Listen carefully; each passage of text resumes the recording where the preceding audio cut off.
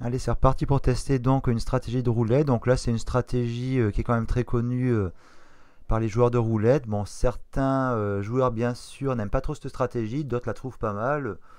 Moi, perso, je la trouve moyenne, même voire pas top. C'est ce qu'on appelle la stratégie de la lettre M. Alors, ça représente un peu donc une lettre M. Et apparemment, c'est que des numéros rouges. Alors, il y a un, numéro en plein sur donc chacun de ces numéros rouges, plus certains numéros qui sont en carré, et ici certains numéros qui sont à cheval. Donc on a des numéros en plein, des numéros à cheval, des numéros en carré. éventuellement, vu que c'est des numéros rouges, le joueur peut éventuellement rajouter un jeton sur, euh, sur la couleur rouge. Alors ça fait donc une mise totale de 23 euros, donc euh, comme les mises sont disposées ici. On va donc tester.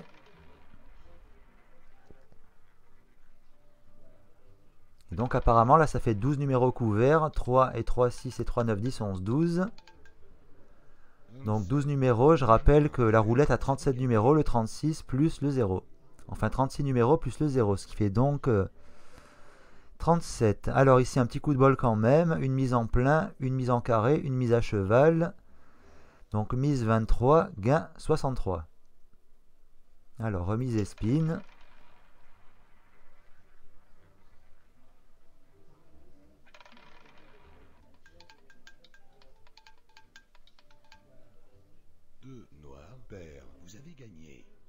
Alors là, ça paye 9 parce que c'est un carré. Mise 23, ça paye 9. Donc, euh, bah, c'est euh, une perte partielle, pas une perte totale, mais partielle. Alors certes que si on calcule les probabilités de jouer comme ça, il y a 12 numéros, c'est plus avantageux de jouer... Euh, on peut penser que c'est plus avantageux de jouer sur une douzaine. Car éventuellement, ça paierait peut-être un petit peu plus. mais là, il y a quand même un avantage avec cette stratégie c'est qu'il y a pas mal de numéros qui sont couverts euh, par des mises en carré. Donc ce qui évite de faire une perte totale. Ça fait donc juste une perte partielle. Donc en fait c'est un donné pour un rendu. C'est peut-être mieux de jouer une douzaine selon certains joueurs. D'autres diront c'est peut-être mieux de jouer la stratégie du M car il y a pas mal de pertes partielles. Le 20, le 22, 24, 26, 29, 33, 35, 31 et ainsi de suite. Ici, 2, 4, 6, 8, 11, 15, 13, 17. Alors ici, mise 23, gain 63.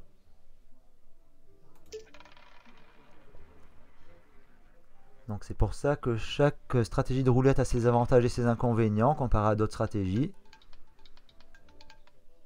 Mais bon, après, il y a pas mal de calculs mathématiques euh, pour en débattre. Voilà, là par exemple, c'est une perte partielle, mise 23, gain 9. Donc c'est pas une perte totale grâce à cette mise en carré. D'où l'avantage de, cette stratégie par rapport à si le joueur joue une simple douzaine, que ce soit la première, la deux ou la troisième. Alors ici pareil, perte partielle.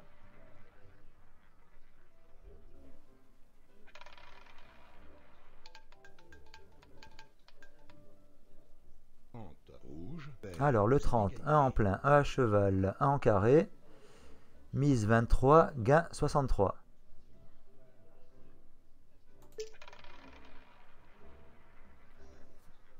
Ça aurait payé 69 si c'était sur euh, ce montant-là de 23 euros sur une douzaine. Donc comme je disais, avec la stratégie du M, ça paye un peu moins, mais il y a aussi les pertes partielles qui sont euh, pas des pertes totales comme ici. Donc c'est un donné pour un rendu, comme je disais précédemment. Après ça se discute, bien sûr que chaque joueur de roulette va pouvoir euh, donner de différentes opinions selon les stratégies. Alors, mise 23, gain 54. Là donc une mise en plein, deux mises en carré. Alors le solde avec tout ça il est de 302.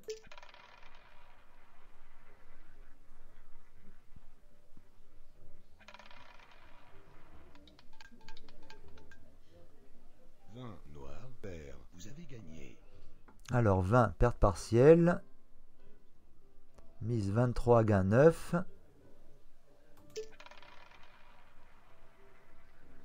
Donc ça fait 14 euros de paumé au lieu de paumer la totalité des 23 euros qui sont placés euh, sur la table de roulette. Alors le 29. Allez, encore une perte partielle.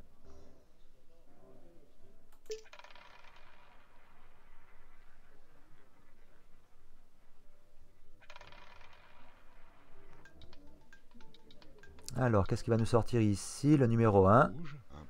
Une mise en plein, une mise en carré. Donc, mise 23, gain 45.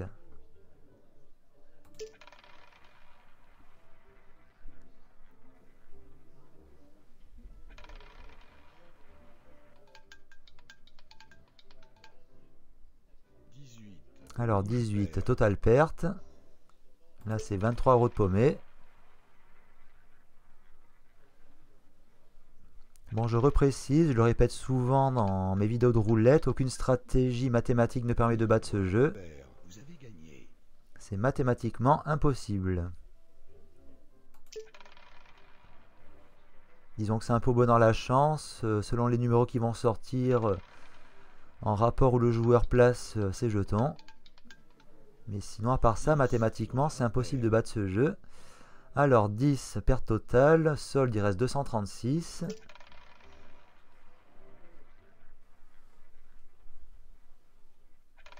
Qu'est-ce qui va nous sortir ici? Le 22. Alors, perte partielle, une seule mise en carré. Mise 23, gain 9. Donc, au lieu de paumer 23 euros, c'est 14 euh, euros qui sont perdus.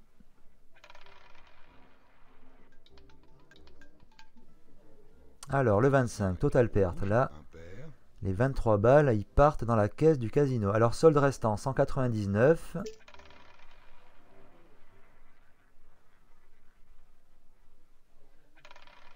Bon, après là, pareil, c'est toujours une stratégie qu'on peut remasteriser, rajouter des mises euh, à cheval, des mises en plein. Voilà, par exemple, des mises à, cheval ici, hop. Mise en carré, enfin... Euh, il y a toujours moyen de masteriser un petit peu cette stratégie de la lettre M. Alors le 4, perte partielle. Sol 225.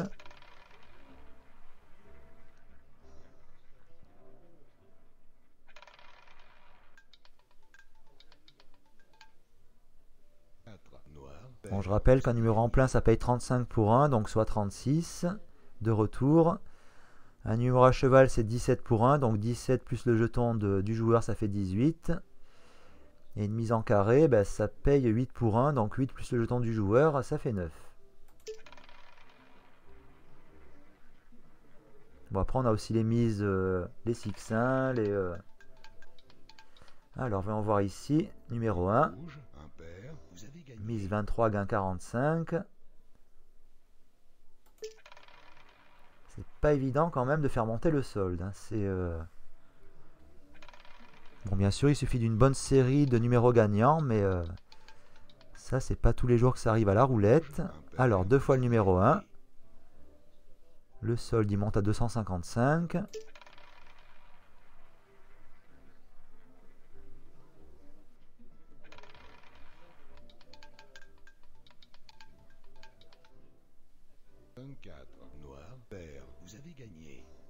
Alors, vous avez gagné 9.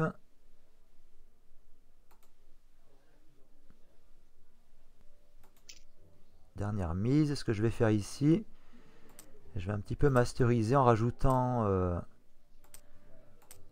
des mises à cheval. Euh, en carré et à cheval, pardon. Hop. Voilà, carré ici.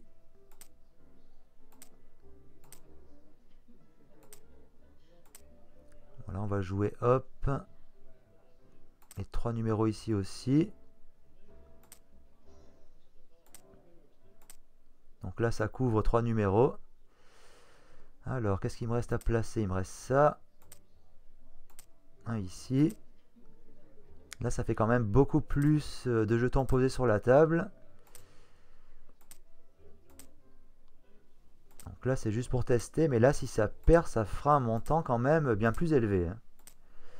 Alors, est-ce que j'en ai oublié? Hop, on va mettre un carré ici. Un autre ici. Alors là, on a tout mis apparemment. Hop. là, ça fait quand même des mises à 62. Donc il suffit de 2, 3 numéros perdants. Alors des numéros total perdants, c'est le 0, le 3, le 7, le 10, 25, 28. Bon, après, il y a des pertes partielles euh, qui seront quand même des grosses pertes. Alors on va tester.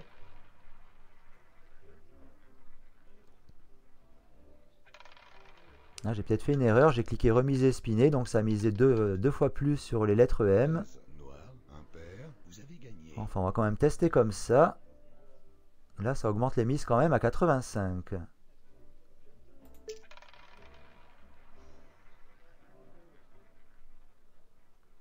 Alors, il suffit que ça tombe sur un bon numéro, mais bon, c'est pas gagné d'avance.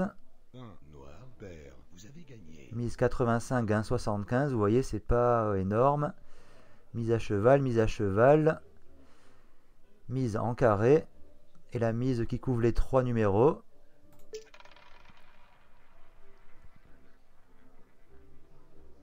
Moi personnellement, je préfère jouer comme euh, c'était précédemment que comme ça avec plein de jetons en plus. Même si bien sûr ça peut rapporter des fois pas mal, euh, c'est un peu dangereux.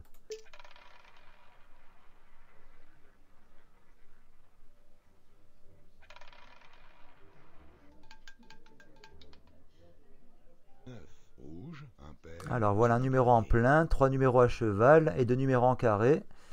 Donc mise 85, gain 171. Il suffirait de 3-4 numéros comme ça pour faire un, beau petit bénéf, mais c'est pas gagné d'avance. Ok, 19, c'est joli. Mise 85, gain 183. Bon ben, je crois que je vais en profiter. La balance elle a un petit peu remonté. Je pense que je vais arrêter cette stratégie car euh, c'est un petit peu tendu de jouer la stratégie de la lettre M, surtout quand on rajoute euh, un tas de jetons à cheval et en carré. Bon ben, c'était une courte vidéo histoire de vous montrer la stratégie de la lettre. Après bon on aime ou on n'aime pas, on n'aime pas pardon. C'est sûr que c'est pas une stratégie qui est au top. De toute façon à la roulette il n'y a pas vraiment de stratégies qui sont au top qui permettent euh, de faire tout le temps gagner. Donc fin de partie 353, donc je reprendrai peut-être un petit peu plus tard ou euh, demain ou après-demain euh, ces parties de roulette et je vais voir si je pourrais éventuellement tester des nouvelles stratégies.